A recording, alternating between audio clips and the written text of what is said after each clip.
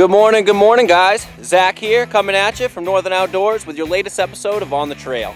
It's a beautiful sunny day here in the Forks. I'm gonna make my way over to Grand Falls on the Dead River. I was talking to some riders this morning, said the trails are in awesome condition, so let's go check it out.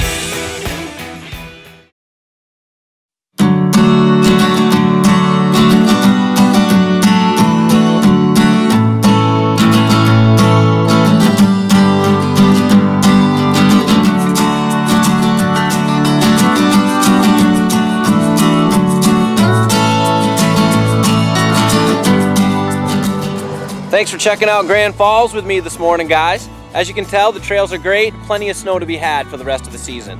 Right now, if you go to northernoutdoors.com, you can get 20% off lodging between now and the end of the season. May 2nd, guys, another six or seven weeks, we're gonna be rafting from this very spot.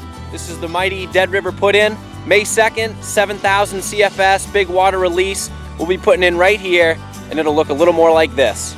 Good morning, guys. We've made it, with a little bus trouble, we've made it to the put-in of the mighty Dead River. Right here behind me, the rafts are starting to climb in the water. We got, But for now, let's soak up the rest of the snow, get some more riding in. We'll see you for rafting this spring, guys.